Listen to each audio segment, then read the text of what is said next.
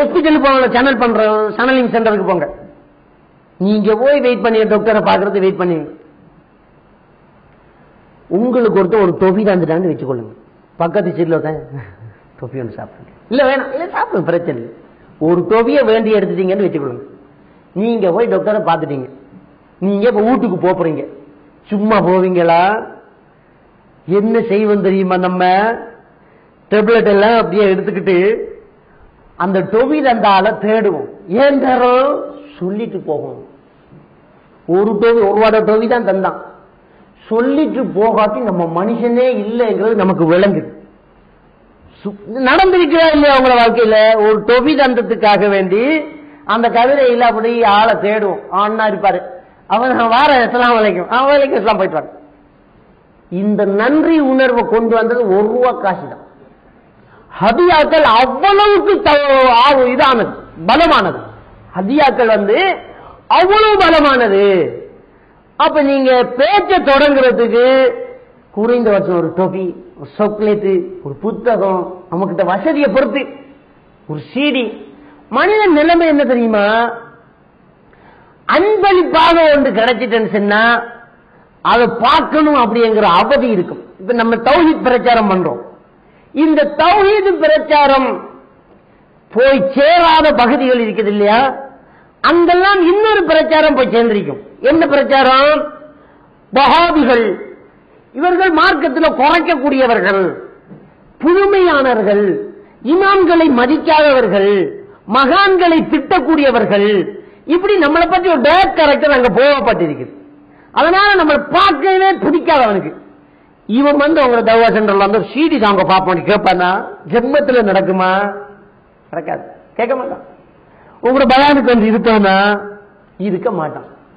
எப்போதாவது உங்களுடைய பேச்சை அவன் கேட்டான்னு சொன்னா இன்னும் வரிக்கு வரி ரசூல்லாய் சல்லா அலுவலம் ரசூல்லாய் சல்லா அலுவலவங்க நபியை பின்பற்றணும் நபி வழி நபி வழியங்க குருவானை பின்பற்றணும் குருவானை பின்பற்றணும். இவனை தானே போய் குருவானை பின்பற்றாதவன் நபியை பின்பற்றாதவன்? மகான்களை மதிக்கலாம்னு சொல்றான். யோசிப்பானா இல்லையா? எப்பாவது கேட்டா யோசிப்பான். கேட்கறதுக்கான வழி யாரு சமைக்கணும்? நம்ம சமைக்கணும். மனிதர்களிடத்துல ஒரு உளவியல் பிரச்சனை இருக்கு என்ன தெரியுமா?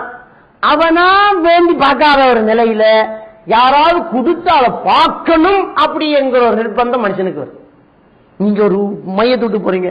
ஒரு வருத்தக்காரனை பார்க்க போறீங்க. ஒரு குடி உந்த வீட்டுக்கு போக போறீங்க. ஒருத்தனை சந்திக்க போறீங்க. என்ன நம்ம என்ன எடுத்துட்டு போவோம்? கேக் ஒரு கிலோ வாழைப்பழம் ஒரு சீப்பு வேண்டி போவோம் நம்ம. ரெண்டுக்கும் சேர்த்து ஒரு நானூறு ஐநூறுரூவா போகும்.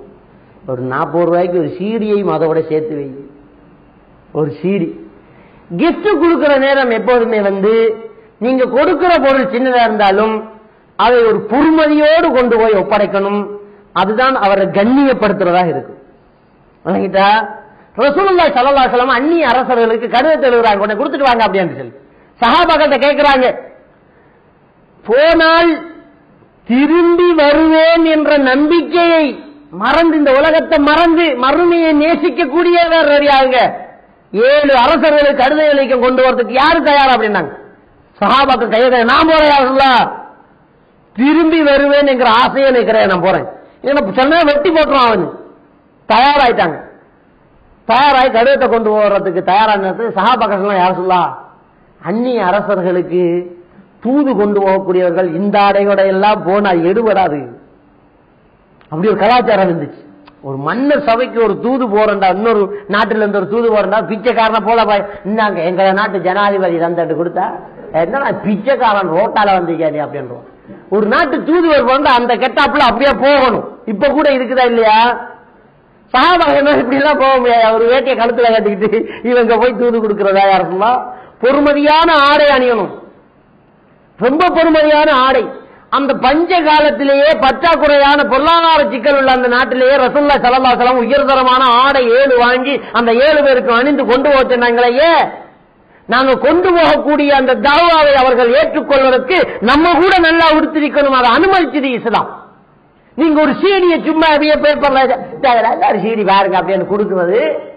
ஆ, அப்படியே வேட்டி போடுவா. இந்த காகம் பேர் அவன் மரத்துல கட்டி தூக்குறதுக்கு நல்லவன் நினைச்சுக்குவான். புரியுதா அந்த சீரி ஒரு நல்ல கவர்ல வச்சு அது ஒரு ப்ரௌன் பேக்கில் வச்சு அழகா அப்படியே ஒட்டி ரெண்டு மண்டா ஒரு ரிபேன் அதில் கட்டி அது ஒரு கிஃப்டா ஒரு அழகான ஒரு பார்சலா அதை செஞ்சு அதுல ஒரு புத்தகத்தை வச்சு. எப்பவுமே கொடுக்குற சின்ன கிஃப்ட் கொடுக்குற பேனைக்கு போட்டிருப்பான பொட்டி அந்த பொட்டிக்கு நூத்தி ஐம்பது ரூபா செலவழிச்சிருப்பான் பேனை இருபத்தஞ்சு ரூபாய் இருக்கு. கிஃப்ட் கொடுக்குற பேனை பாருங்க. அந்த பொட்டியை செஞ்சிருப்பான் சுபான்லா ஒரு நூத்தி இருபத்தஞ்சு ரூபாய் பொருள் அந்த பொட்டிக்கு. தேனைக்கு ஒரு இருபத்தஞ்சு ரூபாய் தான் பொருள் ஏன் அது? அந்த மனிதர்களுடைய ஒரு ஒரு உளவியல் பிரச்சனை தான் ஒரு பொருளை கண்ணியப்படுத்துறத நான் பொருள் அப்படி கிஃப்டா ஏற்றுக்கொள்ற மாதிரி கொடுக்கணும். அப்ப நீங்க கிஃப்டா கொடுக்குற புத்தகங்களை சீடிக்கலை ஒரு அழகான பொதி செஞ்சு இதை அன்பளிப்பா வச்சுக்கணும் கொடுத்து பாருங்க பணிவோட அன்பளிப்பாக வச்சுக்கணுங்க நல்ல ஒரு ஸ்பீச் வந்து இதில் இருக்குது. வச்சுக்கணும். கொடுத்து பாருங்க. எப்போ இவன் போவான்? இதை உடச்சி பார்க்கறதுக்கு அப்படிங்கிற நினைப்பு இருக்கு. என்ன இருக்குதோ ஏது இருக்குதோ பொட்டியை தந்தால் நல்லா தான் இருந்துச்சு. பூவெல்லாம் வச்சு. இதை பார்க்கணும் போறானு இல்லையே? கழிச்சு கழிச்சுட்டே இருக்கானே. அங்க போக கேட்டாடி விட்டு பாய் ஓடி வந்து அது பிச்சு. எந்த நான் ஓட்டி பார்க்கணுமா இல்லையா அவனு? பார்ப்பான். பேச விட்டு பார்த்து பிடிச்சிட்டு இல்லையா? நம்மகிட்ட வரா கோல் இன்னொரு நாலு சீரி அனுப்புகளே அப்படியம்மா தாவாவுல அன்பளிப்பு ஒரு பெரிய ஒரு அமைப்பா இருக்கும்.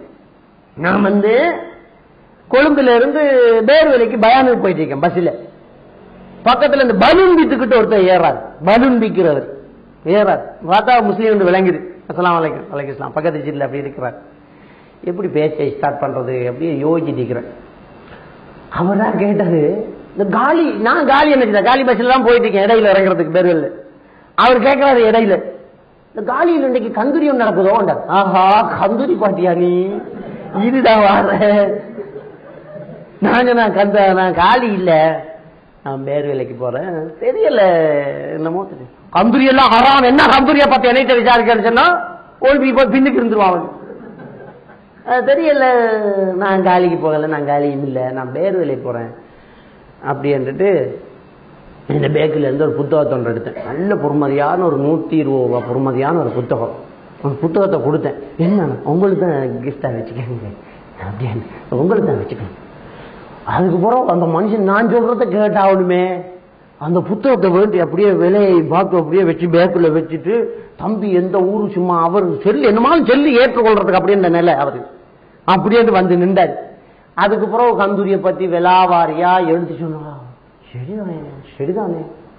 இல்லாதவனுக்கு அன்னதானம் கொடுக்கறதான இஸ்லாம் சொல்லி இருக்குது உள்ளவர்கிட்ட எல்லாம் நீ அஞ்சு நீ அஞ்சு நீ அஞ்சு தான் ஆக்கி கொட்டி மரம் எல்லாருக்கும் கூட என்ன அன்னதானண்டாது உங்கள்கிட்ட தான் வேண்டி ஆக்கி போட்டு உங்கள்கிட்ட தான் காரணம் வீட்டில் ஆக்க தெரியாது உனக்கு நீ இல்லாதவனா திங்க அவன் பெரிய பெரிய லட்சாதிபதி தான் கொடுக்கான் திங்கிறதும் அவன் தான் அப்ப இது அன்னதானமா? இப்படி ரசூல்லா செஞ்சாங்களா?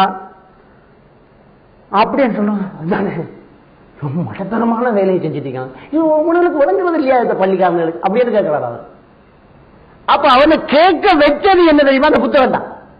நாங்க ஒரு அன்பை ஒத்தோவி கொடுத்தாலும் சரி கேட்டே ஆகுவார் அவர். ஏன்? நம்மள்ட்ட ஒரு கவர்ச்சி வந்து நாம சொல்றதை கேட்கணும். பாப்பா சொன்னா என்ன இருந்தாலும் கேட்கறோமே. என்னது? அவர்ல இருக்கிற அந்த கவர்ச்சி அவர் சொன்னா கேட்டே ஆகணும். அந்த நிலையை நீங்க உருவாக்கி கொண்டீங்கன்னு சொன்னா அடுத்தது உங்களால தவா ஸ்டார்ட் பண்ணிடலாம். அப்ப பிரச்சாரம் பண்றதுங்கிறது வந்து மேடை பிரச்சாரமா இருந்தாலும் சரி ஒருத்தர்கிட்ட தனியா பேசுறதா இருந்தாலும் சரி முதல்ல அவர் நம்ம ஆள் ஆக்கும் நீ என்ற ஆள் அப்படின்ற ஆக்கும். சிரிச்சு சலாம் சொல்லி கிஃப்ட கொடுத்து கிஃப்ட் கொடுக்க முடியுமா தான் கொடுக்க சலாமே போதும். பேச்சு எப்போதுமே ஸ்டார்ட் பண்ணணும். அவர் நலம் விசாரிக்கணும் அவர் நலம் விசாரிச்சு அதாவது அவருக்கு ஒட்டோமேட்டிக்கா விளங்கும் நம்மள இவர் அக்கறையா இருக்கிறாரு. ஊர் நிலைமையில எப்படி? நல்லா இருக்கிறீங்களா? தொழில் எல்லாம் எப்படி ஊர்ல இப்ப பிரச்சனை இல்லையா? நீங்க எத்தனை பிள்ளை? கல்யாணம் முடிச்சிட்டீங்களா? பிள்ளை விட்டு எல்லாம் வைக்கா ரெண்டு பிள்ளை. ஆ, மாஷாலா என்ன பிள்ளை? உங்களுக்கு மாஷாலா ஆ. என்ன ஜனா அலமதுல்லா அப்படிதான் பேர் கேட்கிறோம் பிள்ளைய பேர் என்னம்மா? பாத்திமா? அழகான பேர். நேரத்தில் ஆயிச்சாண்டதையும் அழகானன்றுவோம் முறை பார்த்து அழகானது. என்ன செய்யணும்? அழகானது. யார்தான் சந்தோஷம் அவனுக்கு? அவனை கவர்ந்து இருக்கு அப்படித்தான் சொல்லணும் பேர் என்ன? அவுபகம் மாஷா அழகான ஒரு சஹாபில பேர் வச்சு. சுப்ஹானல்லாஹ். கவர்ச்சி அவனை விசாரி முதல்ல. அப்ப அவன் நம்ம ஆள் ஆகுவான் அவரை பத்தி விசாரிச்சா நம்ம ஆள் ஆகும் இப்ப அவருக்கு ஒரு தாழ்வு மனப்பான்மை உண்டாயிடும் என்ன? இவ்வளவு தூரம் தோண்டி தோண்டி நம்மளை விசாரிக்க நம்ம கேட்க கூடாதா இந்த ஆளை பத்தி? நீங்க நான் காட்டுறேன். என்ன செய்றீங்க? நான் பள்ளியில் பள்ளியில தாவா செஞ்சீங்க இல்லை நான் வியாபாரம் செஞ்சுட்டீங்க. கேட்டோம். அதோட நான் இந்த பயான் சீடிகள் நல்ல பயான் சீடிகள் பாருங்க இப்போ நாட்டில் நடக்கிறானே அது அப்படித்தான் தொடங்குறோம். நாட்டில் நடக்கிறது எத்தனை மக்கள் சுபாவம் தான் நம்ம முஸ்லீம்கள் என்று சொல்றத சும்மா பேர் வாங்க பஸ்ல தொழுறாங்க இல்லையே. இப்படி கொண்டு போகலாமா இல்லையா? அந்த பேச்சு கொடுத்துக்கிட்ட மனுஷன்னா மற என்ன சப்ஜெக்ட் பேசலாமோ அந்த சப்ஜெக்டுக்குள்ள வந்துடலாம் அப்ப சிலருக்கு இருக்கிற பிரச்சனை என்னண்டா? தவாவை எப்படி ஸ்டார்ட் பண்றது அப்படிங்கிறது தெரியாத ஒரு பிரச்சனை. அடுத்தது பாருங்க எப்போதுமே நாங்க பேசுற நேரத்துல அடுத்தவன் இருக்கிற குறைய வந்து அப்படியே எடுத்து தாக்கி பேசக்கூடாது. இதுக்கு அழகான ஒரு உதாரணத்தை அல்லாஹாக்கு சுபஹானுத்தால யாசின் சூறாவில் சொல்லி காட்டுறான். என்ன சொல்லி காட்டுறான்னு சொன்னா ஒவ்வொரு மதலன் அசாதல் கரியத்தி இது ஜாகல் முசலூன் அப்படி ஆரம்பிக்கும். நபியே இந்த மக்களுக்கு ஒரு கிராமத்தில் நடந்த சம்பவத்தை எடுத்து அப்படின்னு ஒரு சம்பவத்தை சொல்றான். ஒரு ஊருக்கு ரெண்டு ரசூல்மார்களை நாங்கள் அனுப்பினோம். ரெண்டு பேரையும் பொய்ப்பித்தாங்க மூன்றாவது ஆள அனுப்பினோம். அவரையும் பொய்ப்பித்தாங்க நர்ஜு மன்னக்கும் நீங்க பிரச்சாரத்தை நிப்பாட்டவில்லை கல்லால் அடிப்ப வந்தாங்க அடிக்கவும் செய்தாங்க. இந்த மூன்று ரசூல்மார்களையும் அவங்க கொள்ற நேரத்தில் தான் ஊரின் எல்லைப்புறத்தில் இருந்து ஒருவர் ஓடி வாரார். ஒஜாமின் அக்சல் மதீனத்தி ரஜினி ஊரின் எல்லையில இருந்து ஒருத்தர் ஓடி வர பாமரமாக இது வரைக்கும் அவர் மறைச்சி இருந்தார் மார்க்கத்தை. ரசூல்மார்கள் மூன்று பேர் கொல்லப்படுறாங்கன்னு அவரால் முடியல. ஓடி வாரார். ஓடி வந்து அந்த மக்கள் மத்தியில பிரச்சாரம் பண்றாரு. அடிச்சுக்கிட்டு காட்டு முராண்டிகளாக இருந்தவங்கள்ட்ட அவர் பிரச்சாரம் பண்றாரு. இந்த பிரச்சாரத்தை அப்படியே தேர்ந்தெடுத்து அல்ல குருவான் வகை மூலமாக ரசூலாவுக்கு அறிவிச்சு இதை சொல்லுங்க அந்த மக்களுக்குங்கிறான் இது மட்டுமா நடந்திருக்கு உலகத்துல? எத்தனை ரசூல்மார்கள் வந்தாங்க எவ்வளவோ பிரச்சாரம் பண்ணாங்க எத்தனையோ மக்கள் அதுக்கு துணையா இருந்திருப்பாங்க எவ்வளவு எதிரிகள் இருந்திருப்பாங்க எவ்வளவு சம்பவங்கள் நடந்து எல்லாத்தையும் நமக்கு செல்லல அல்ல இதுல தேர்ந்தெடுத்து தேர்ந்தெடுத்து இதெல்லாம் உங்களுக்கு பிரயோசனம் இதுல எல்லாம்